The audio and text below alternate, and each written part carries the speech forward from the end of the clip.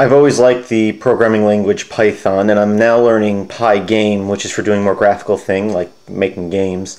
And I'm mainly learning it to have fun uh, with my Nokia N900. Uh, I'm going to show you here three, and I'm, I'm kind of new at this, but three basic scripts that I wrote. The, uh, there's a tar file in the description uh, that you can download uh, all three of these files, untar them, and once you go to the directory they're in, just uh, dot slash and the name of the one you want to start. We got Photo Mover, Photo Resizer, and Photo Rotator. Uh, and those are the three files, games I'm going to show you today. Not games, but programs using Pygame. And uh, they're pretty simple, so I'm going to start them up here. The first one is Photo Mover, and it's just simple. It displays a photo and I can drag it around with my finger. Now all three of these applications, since they're written in Python with Pygame, should run uh, not only on my Nokia N900, but uh, any modern distribution of Linux. Uh, might have to install Pygame, but I think most of them have Pygame installed uh, by default.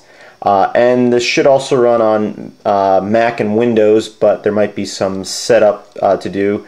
I know Mac has Python installed. I don't know if it has Pygame installed by default. And Windows doesn't have anything installed of use, so you'll have to go and download uh, Python and Pygame and set those up on your Windows machine. But anyway, that's my photo mover. Next is photo resizer. So here we are. I'm going to go like this and I can go from left to right to squish the picture and up to squish the picture that way. So that's simple little manipulating of a photo there. And the last one is photo rotate. Photo rotate will move, but as I move it rotates the image around. So I'm hoping to do uh, more useful things with I'm, what I'm doing here, but these are, I'm learning, and this is what I've got so far, and I wanted to share with you guys. Uh, as I learn, I'm going to be doing uh, tutorials on Pygame and Python because I didn't mean to do tutorials on Python. So keep an eye out, look through my videos and see what I've got and keep an eye out for what I'll be coming up with next.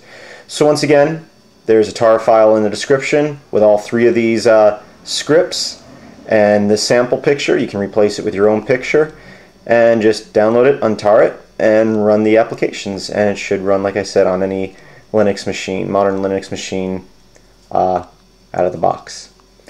So hope you enjoyed this tutorial. Visit uh, uh, Films by Kris for more tutorials like this.